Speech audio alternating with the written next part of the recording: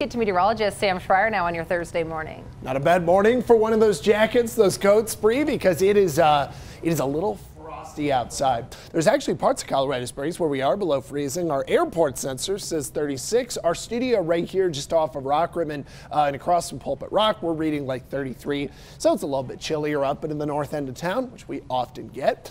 Pueblo, so we were at 28.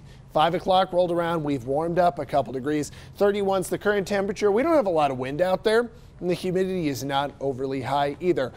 Oh boy, cold in the valleys. Alamosa 16 West, or Alamosa 14 Westcliffe is 16 22 out in the open plains of Limon. Lamar is awfully chilly this morning, and we're 34 up into Denver. So kind of a mix of 30s and a few 20s mixed in, obviously colder in the valleys.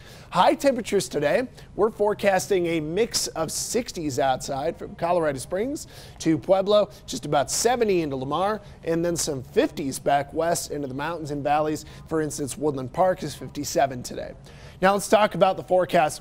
Kind of a fun low pressure area over the Pacific Northwest. It's throwing some rain and cloud cover a little thicker over Washington and Oregon. And there's a little bit of a dip that'll try to bring some cooler air across the northern Rockies. But actually, Colorado, I don't think we get any influence here. We're going to keep warming over the next few days because in our jet stream pattern, not only is there some downsloping flow out of the northwest that travels across the Rockies, we're just building a nice ridge pattern in between a cooler pressure system to the east and that Pacific cool air off to the west. We can track this pretty easily over the next few days. So Thursday into Friday, that ridge pattern swells and builds a little bit. So tomorrow looks warmer, but we really get established going into the weekend. So Saturday and Sunday, High temperatures will be well into the 70s across the plains, but we do track a little bit of a cool down into next week. Lows tonight will still be chilly, not as cold as what we're seeing this morning, but we'll be back into the 30s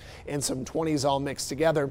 Then tomorrow we will warm into the 70s and we'll have some 60s spread out west. Let's hit traffic.